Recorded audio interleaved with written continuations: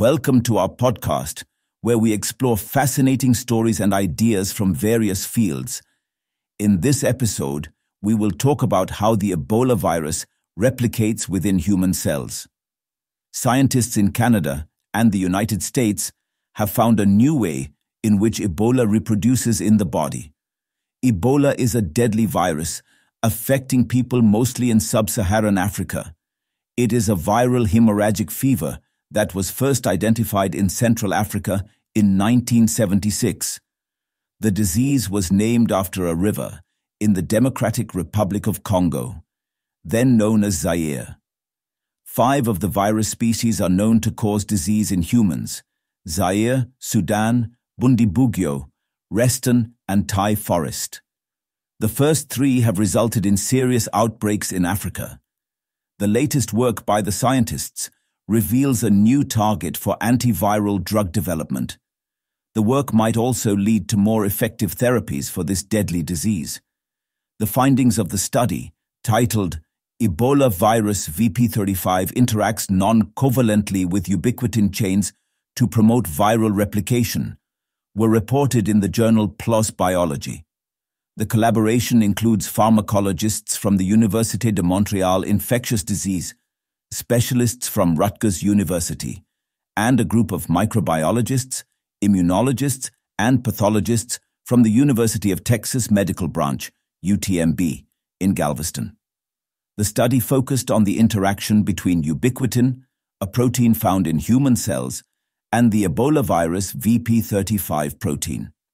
Notably, this contact is critical for the virus's capacity to proliferate and elude the immune system.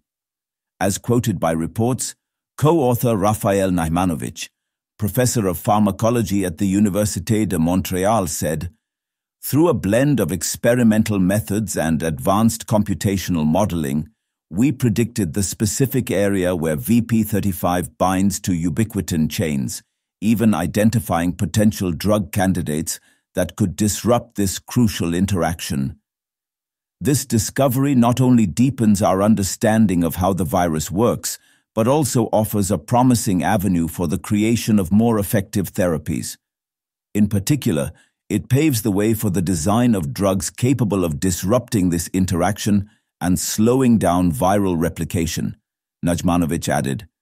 Reports have mentioned the virus's natural reservoir animal is suspected to be a species of fruit bat, which does not itself fall ill, but can pass the disease on to primates, including humans. Humans become exposed to the virus if they kill or butcher infected bats for food. Among humans, the virus is passed on by contact with the blood, body fluids, secretions or organs of an infected or recently deceased person. This can include touching a sick or dead person and likely also sexual intercourse. Those infected do not become contagious until symptoms appear. They become more and more contagious until just after their death, which poses great risks during funerals. Thanks for tuning into this incredible story. If this episode resonated with you, don't forget to hit the like and subscribe button for more captivating stories to come. Stay tuned.